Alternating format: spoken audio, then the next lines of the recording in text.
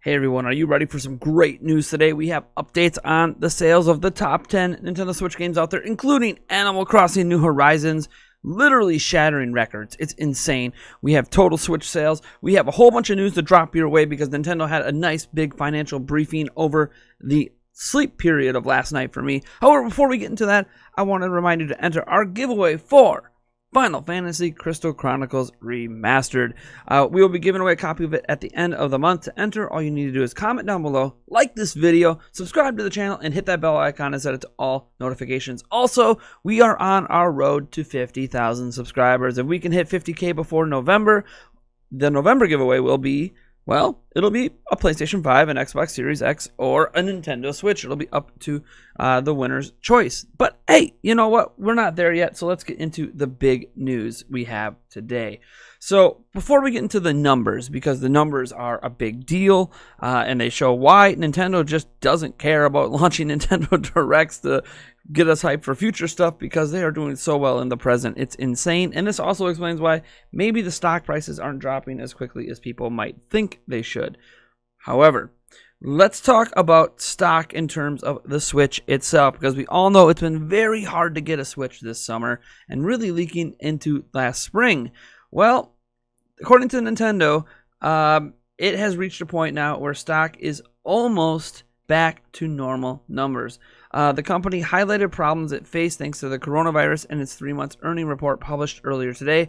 Uh, the report reads that COVID 19 created some difficulties in procuring the parts required for manufacturing Nintendo Switch consoles, but the overall production situation has almost recovered. Now, the thing is, they're saying almost recovered. It means it's not actually back to full production. And we have seen things like the Animal Crossing Nintendo Switch has reappeared somehow out of nowhere in Australia for all of 10 seconds. So it's interesting to see that uh, production is ramping back up. And I've said this before at some point in August.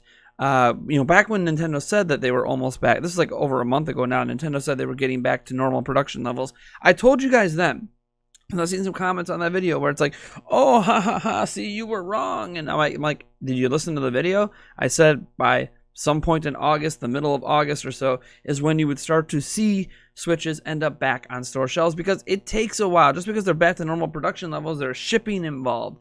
Uh, and shipping takes a long time. You got to get it on the boats to go overseas, back to the U.S., into their warehouses, then out to all the various retailers. It could take a month to two months for that to happen. So, yes, uh, expect it to be fairly easy to get a Switch soon. How long they can stay into the, at that production level, I have no idea. Uh, hopefully for the rest of the year. Now, let's get into the numbers. Uh, and let's first off just go with Nintendo's net profits. Uh, they reached one billion uh, dollars in the last quarter and have a 541% rise year on year. Uh, compared to quarter one of last year, Nintendo's net sales have more than doubled this time around, covering the period between April 1st uh, and the 30th of June 2020. Those net sales reached a total of 358.1 billion yen, up from 172.1 billion yen last year. It also saw a significant rise in operating profit and ordinary profit, with numbers rising across the board. The 541.3% rise we mentioned translates to a quarter one net profit total of 106.4 billion yen, or just over $1 billion USD. Over the same period last year, Nintendo's net profits reached 16.6 billion yen, which is about 157 million dollar USD. And now we're going to see why that happened because people have been telling me all year, oh, because of the lack of the announcements and this and that, Switch stock should be going down. And I kept telling people the Switch stock prices really shouldn't be moving anywhere because Switch is in the midst of their best year yet. And well, as you're about to see, the numbers kind of show why. So first off, let's get into the top 10 best-selling Nintendo Switch Switch games. Uh, and you're going to see some crazy numbers here. So Mario Kart 8 Deluxe is still holding on to that number one spot. However, it might not last past 2020 because at number two is Animal Crossing New Horizons, and guess how much that game has sold? Remember that game came out, you know, not you know, just a handful of months ago. 22.4 million units. It is the fastest selling game period on Switch. We have not seen a game sell this quickly on Switch at all. It's insane. It hasn't even had a holiday period hit yet. Animal Crossing New Horizons is likely going to go cross over 30 million. It is very clearly the best selling game in the series. I am just oh my gosh, 22.4 million. Can you believe that for Animal Crossing? That's just the number 2 game.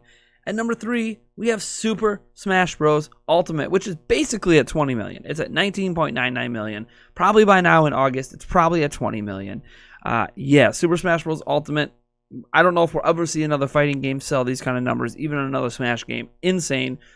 Wow. Next up, at number four, still holding on, is Breath of the freaking Wild at 18.6 million. Wouldn't be surprised to see that over 19 by the end of this holiday period. Uh, but yeah, Breath of the Wild just keeps on selling. If you ever wonder why Nintendo doesn't lower lower the prices of games, just look at the sales of their games.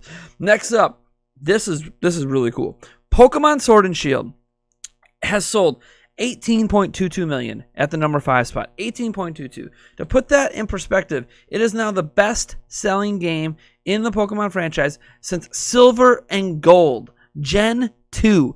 It is the best selling game in the franchise since those days.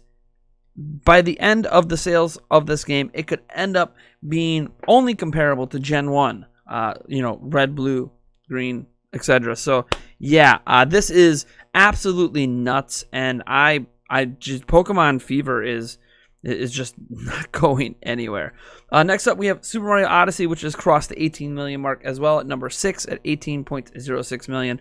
Pokemon Let's Go Pikachu and Let's Go Eevee has creeped above 12 million as well at 12.2. So you know, that game is getting some uh, long tail sales there because it was stuck at about 10 to 11 million for a while, but uh, maybe um, you know, maybe it's possible Sword and Shield gave it an extra million boost over the last year. Uh, Super Mario Party is at number eight with 10.94 million. That's going to be at 11 million here pretty quickly. We have Splatoon 2 at number nine at 10.71 million, and then the only game not over 10 million at the number 10 spot is New Super Mario Brothers U Deluxe, another Wii U port at 7.44 million units. We also know that Xenoblade Chronicles Definitive Edition has sold over a million units as well in its short time on the market. Uh, I think it's actually already outsold the original release back on Wii, so good for that. Now, the Nintendo Switch itself.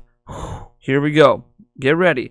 The Nintendo Switch itself has sold 61.44 million units. And if you look at the hardware ranking sales, it at this point would have passed the NES. Um, the NES uh, at the time of the of Nintendo's official report was still about uh, 500,000 units ahead. But again, this was back in June.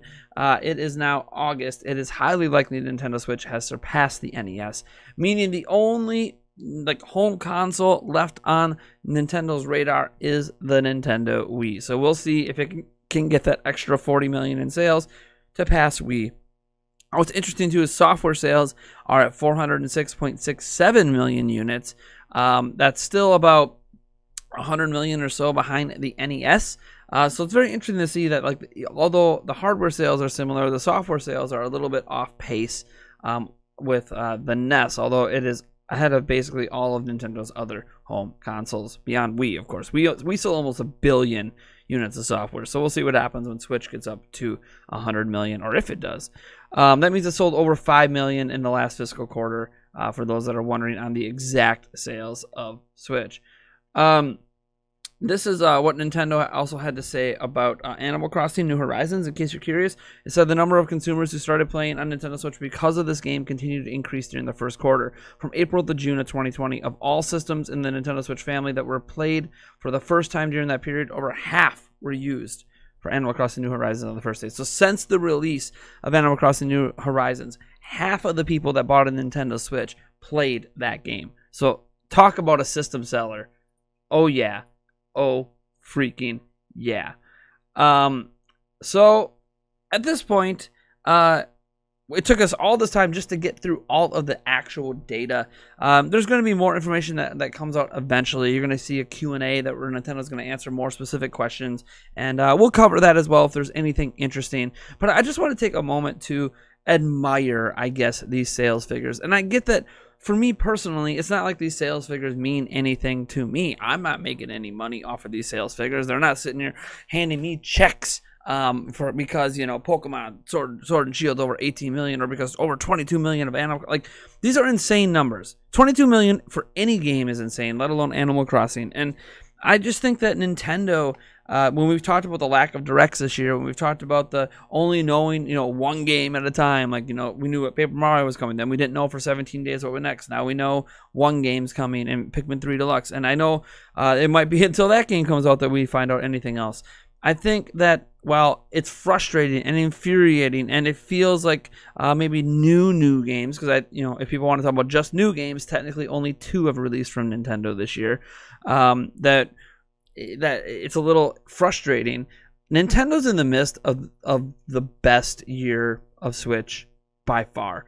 Um, and investors should be extremely happy at the amount of money and likely dividends coming their way on their stocks. I think that um, at this point, Nintendo can almost do no wrong. And that's saying something as we head into the Xbox Series X and PlayStation 5 coming out, which everyone is making kind of an assumption it'll affect sales uh, when Miles Morales hits and Halo Infinite. Like, you know, Nintendo's going to be in trouble. But again, these systems don't really replace Switch. Um, they're amazing platforms. I, I, honestly can't wait to see what they're going to cost. Uh, you know, maybe they're going to end up being insane in price, but I think to be affordable, uh, they're going to both companies will be taking big losses per unit sold. But honestly, it doesn't matter what these 4K, 8K, 120 FPS systems can do because they don't they're not portable. You you just you simply just can't take them with you in a convenient way, and you can switch. So I'm not that worried about it, and I don't think Nintendo's that worried about it either. At least in the short term, I do think uh, it'll affect third-party games. Like I don't think we're gonna start seeing Doom Eternal and Witcher 3 kind of ports next year or the year after for Switch. I think that kind of support's going to be dropping off, and that's that's a shame because we never really got to get full third-party support at any point in Switch's life. Uh, but you know Nintendo took a huge step in the right direction this gen, and they're setting themselves up well for the next generation whenever they decide to launch that. But yes, um, Switch is killing it. Nintendo's killing it. I'm I'm just baffled by these sales right now.